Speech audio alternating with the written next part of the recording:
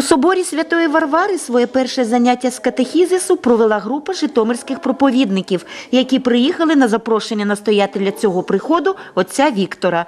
Протягом двох місяців катехізисти будуть проголошувати для охрещених людей Слово Боже.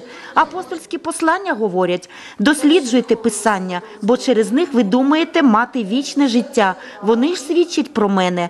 Євангельські істини розширюють світогляд і відкривають для людини багато цінних знань, говорить Франц Сорочинський.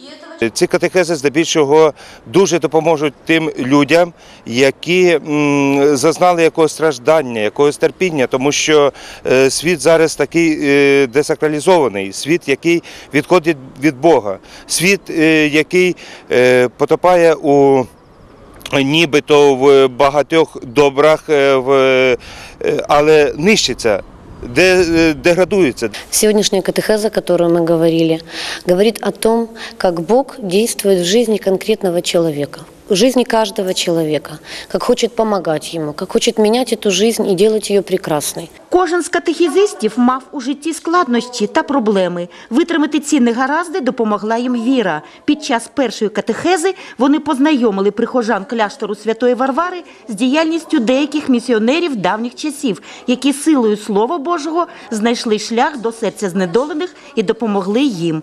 Катехуменат, кажуть проповідники, став для цих людей своєрідним дороговказом у пізнанні істини та самих себе. Свого часу катехези вплинули і на світосприйняття отця Олександра. Коли почув ці катехези, то я побачив дійсно правду про себе самого.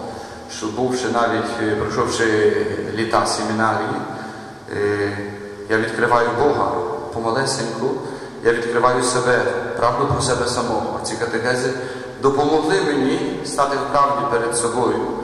Вікарій Олександр впевнений, читання і дослідження святого письма приносить неоціненну користь. На занятті з катехізису проповідники наводили приклади з Євангелія, коли Слово Боже та віра зцілювали людей фізично і морально. У соборі Святої Варвари відбудеться ще 14 катехез. Нехай прийде царство Твоє,